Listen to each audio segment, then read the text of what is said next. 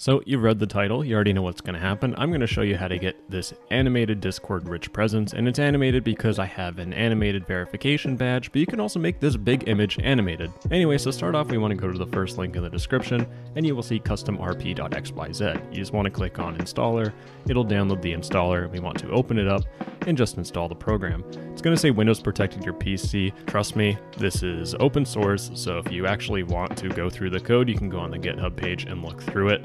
It's all safe, it's just because it's a new application, Windows is freaking out. Just click more info and click run anyways. Then click OK, pick your language, accept the agreement, click next do all this whoa hocus pocus stuff and click finish. And it should open up the thing. Now it's asking if you want to send usage analytics up to you. I click no. Then it'll want me to open up a manual. Uh, it's basically a tutorial. You're watching a video tutorial. So also click no. So next up you want to go to the second link in the description and we want to click create new application. Now we have this name of this application. This is actually really important for our status you'll notice that mine says playing about me and it says about me and that's because the name of the application itself is about me in this case, I'm going to do something a little funnier. I'm going to do something stupid and click create. Then once you have this created, all you need to do is click this copy on the application ID.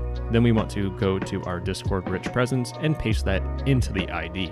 So next up, once you paste in this ID, you want to go to your Discord user settings. We want to scroll down and go to activity privacy, and we want to make sure that activity status is enabled. If it's not enabled, then this won't work, so make sure it's enabled. Then we can click on escape, and what you need to do next is actually make sure you're online, so you can be on do not disturb, idle, or online. If you're invisible, then this just won't work because you won't show up. So I'm gonna go on do not disturb and go to my 1490 server. Now, if I click connect on the custom rich presence application, you'll notice that it says connecting, and when it's done, it says playing 1490. Awesome. So next up, I'm going to add a couple of fields. So this details field, I'm just going to put in details so we understand what's going on, and I'm going to click update presence, and you'll notice it says details.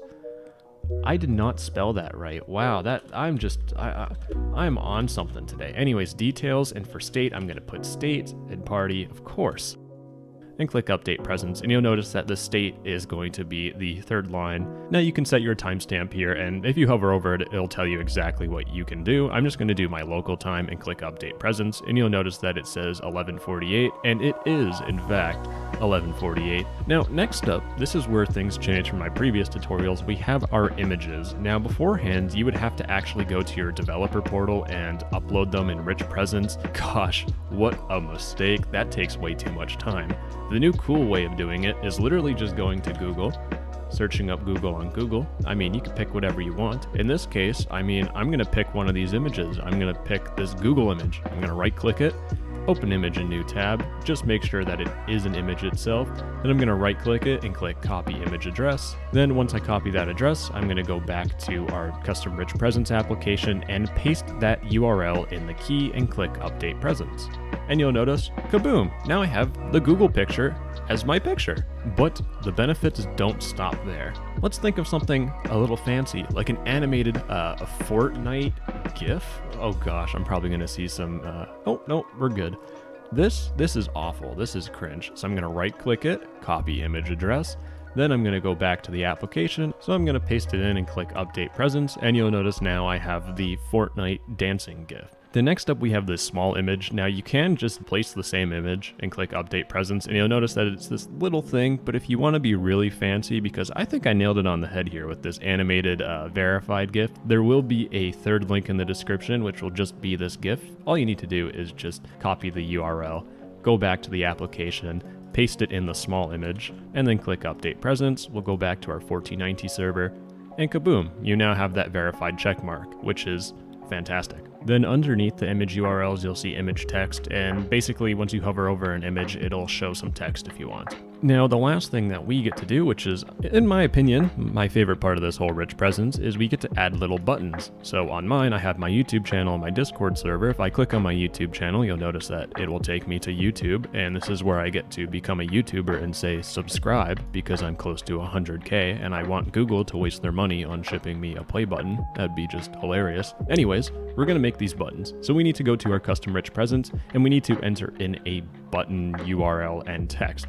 The text is going to be what shows up on the button, so I could say like YouTube channel and then paste in the URL of the YouTube channel. And now if I click update presence and I go back to my normal thing, you'll notice that I have this YouTube channel button. Now if I click on this button, you'll notice that nothing happens and that's just normal. You can't click on your own buttons. So the best way to test if your buttons work is to open up an alt account and try clicking the buttons or just asking one of your friends. Now to make this a whole lot easier, you don't want to always open up this application if you ever want to display this status. You want it to just come on automatically, right? That's why we need to go into our settings and then just click run on startup, make sure that's enabled, and you can start it minimized if you don't want this popping up at startup every single time, which I'm going to personally enable it because man, I hate things popping up when I start up my computer. And finally, one last thing about this program that I really like is that you can actually just save presets. So I have this preset here, I'm gonna save over it, just pretending I'm saving, and you can share this with your friends. So your friends can send you a preset, you can click file, load preset, open up their preset, and then all you need to do is just let it connect, and you'll have their custom rich presence, which is pretty cool. Now, as is standard with my channel, I'm going to show you how to uninstall this Custom Rich Presence application. All you need to do is just close it, press the Windows key, type in add or remove programs, and press enter, and you should reach this page here. Now, it might be different for Windows 11, it's, uh, it's pretty similar. All you need to do is just type in custom, and then you'll see custom RP, click on it, click on install, and click on install, click yes, then it'll say that uninstall has detected that it is running. You just need to go to your bottom right, click on show hidden icons. You'll see this custom rich presence, right click it, click quit. Then once it quits, click OK, and kaboom, you've uninstalled it. And, and that's it. That's literally it. Now you could always go into your Discord developer portal and just delete the app. In all honesty, I mean, you're never really going to fill up all these applications. It's up to you. You can delete it if you want. I'm not your parents. I can't tell you what to do. I can only show you things that you could do. Anyways, sweetheart, I'm actually going to go write a 30 page thesis on why Fortnite's building should have been banned from the start of the game and how Roblox is actually a free to play MOBA. God, I hate cryptocurrencies. I love you. Good night.